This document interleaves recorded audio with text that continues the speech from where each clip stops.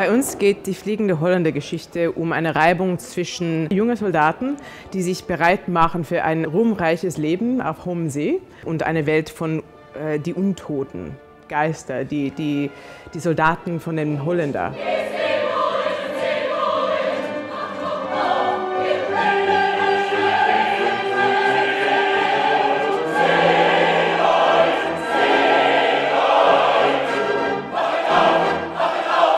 In dieser Inszenierung ist der Holländer eine Art von Ursoldat. Der hat in, in jedem Krieg gekämpft, schon seit so die biblischen Zeiten und, und äh, der sehnt nach äh, Erlösung, der, der will sterben.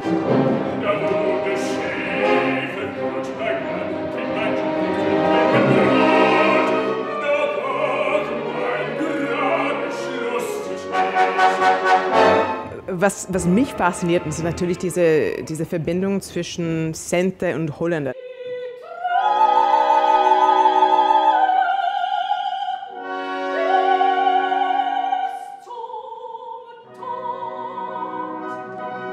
Senta ist äh, eine Außenseiterin. Sie, sie, will keine Munitionen basteln, wie die Mädels machen. Sie will, sie will nicht äh, so, so werden wie eine von diesen Kadetten. Sie findet alles, alles so bodenlos und leer.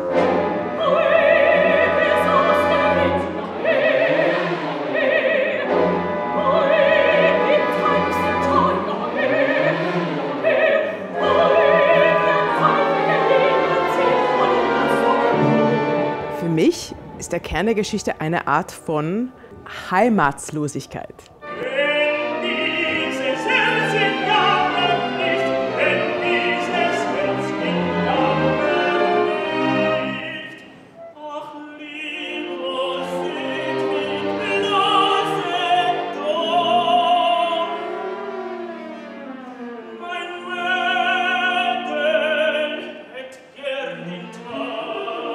Geht um die Suche so heimatslose Menschen oder Menschen, die, die dieses Kern oder Bedeutung nicht gefunden haben, wie die das suchen und letztendlich finden.